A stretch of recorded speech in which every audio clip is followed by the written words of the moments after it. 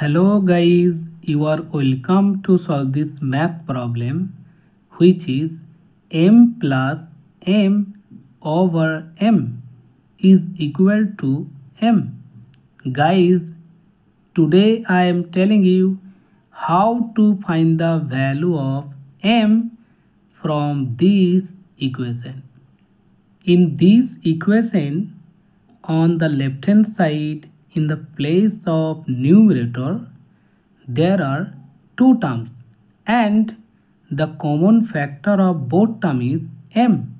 So in the first step of the solution, we can write in the place of numerator m times 1 plus 1 over m is equal to m after that it will be 2 times m over m is equal to m.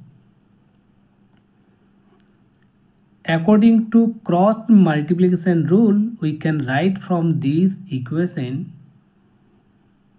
2m is equal to m to the power 2 then we can write from this equation m square minus 2m is equal to 0 on the left hand side the common factor of both terms is m.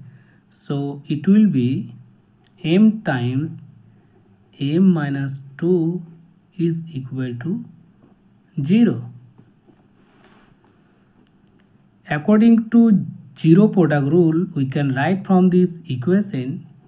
M is equal to 0 and m minus 2 is equal to 0 now we can write from the second equation.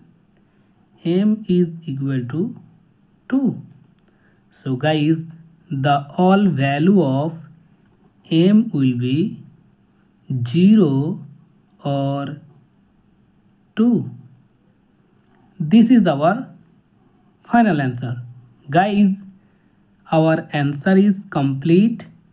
If you like this video and if you like this trick so please support me and subscribe my channel. Thank you. Bye bye